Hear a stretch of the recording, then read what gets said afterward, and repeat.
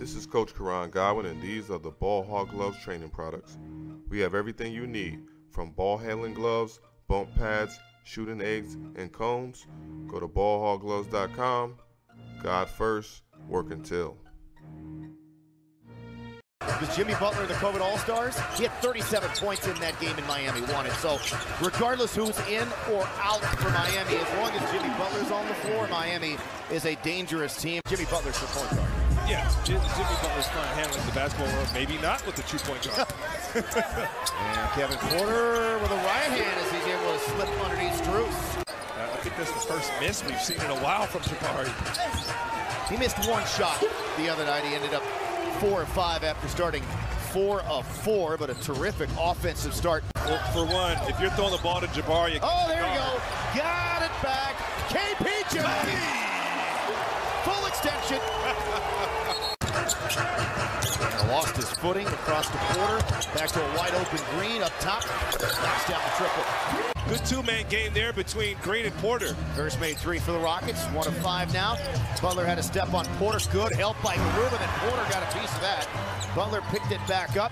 Great job from Boban, and that's not just for the event, man. That's every day. Yeah, Boban is a special person. That ends the run for Miami coming out of the timeout. The Rockets, that play drawn up by Stephen Silas, and his team executed it perfectly. He is on fire, knocked down, know, got run off the line, and sidestepping, still got the three.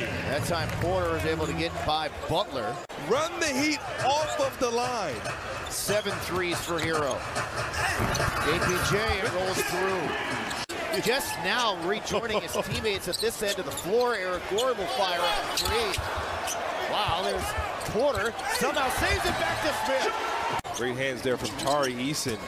He's always so active around the basketball. From the elbow, KPJ knocks it down. Rockets got a box out here. Give him a lane. And he wins the tap ahead to Porter, races the other way. Little stutter step, drive, got right to the cup. Yeah, that was probably too chicken there. Jimmy Butler just anticipated those two passes, essentially. Porter able to bank it up and in as he got a step off the dribble there with Butler defending.